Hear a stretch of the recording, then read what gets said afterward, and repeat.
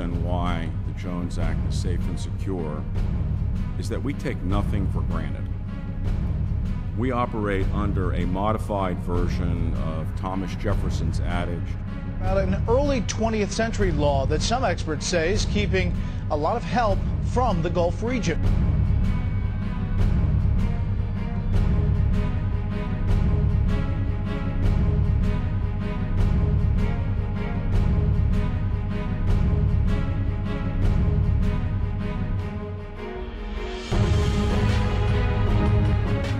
Millions of gallons of oil needing to be cleaned up and with more being added to the mix every day, oil skimming boats are one of the top priorities.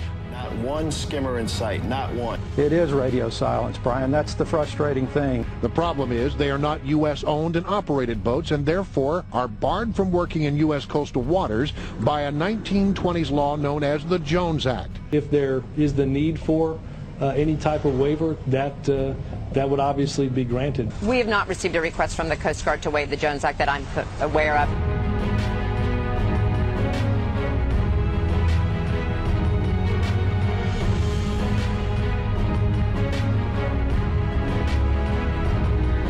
The Jones Act is not responsible for the cost of gasoline, the price of groceries in Hawaii, the debt in Puerto Rico, or snowy roads in New Jersey.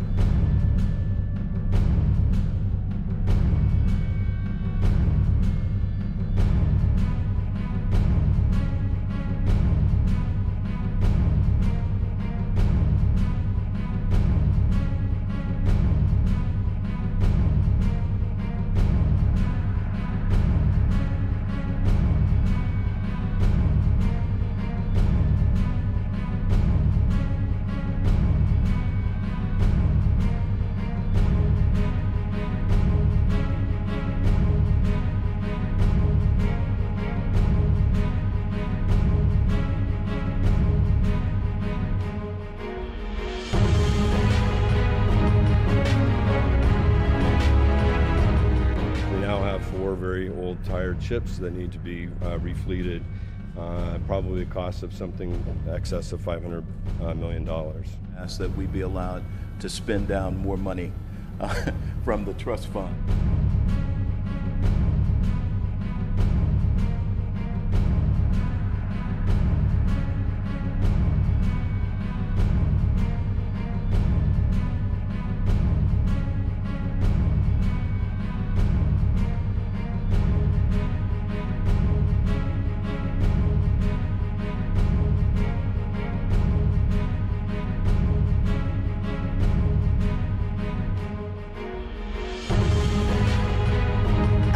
Shakeup in Hawaii's shipping industry. Horizon is out, and its two largest competitors are taking over.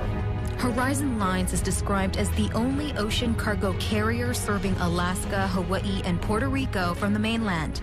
But they're out of the picture now that it sold its Hawaii operation to the Pasha Group, a California based transportation company. Which is the third player in the Hawaii market. Sumner LaCroix studies the current state of economies in the Asia Pacific region. He is skeptical of this multi million dollar merger. So, as a result of the merger, uh, the Hawaii market is essentially reduced from three players to uh, two players.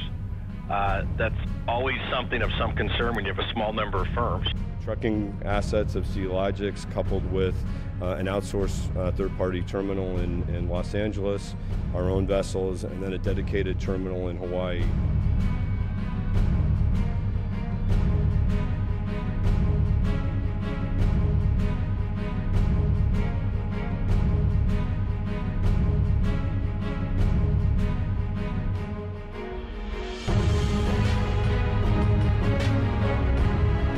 Jones Act is an archaic 1920s era law that hinders free trade, stifles the economy, and hurts consumers, largely for the benefit of labor unions.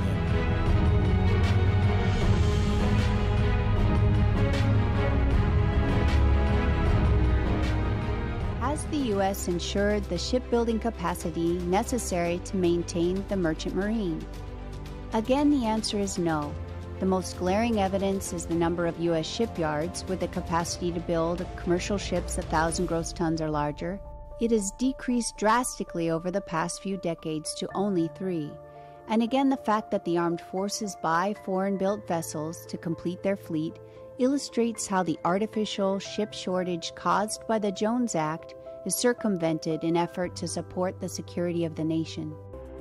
In fact, in examining the effects of the shipping law in 2012, the World Economic Forum pointed out regulations like the U.S. build provision in the Jones Act damages local economies and saddles businesses and subsequently consumers with significant costs. When others are leaving Puerto Rico, American maritime companies are doubling down on the island's future by investing nearly $1 billion in state of the art vessels and infrastructure and creating thousands of private sector jobs in Puerto Rico. Economists have projected that from 1920 through the present, the Jones Act has cost Puerto Rico $75.8 billion, an amount higher than its public debt.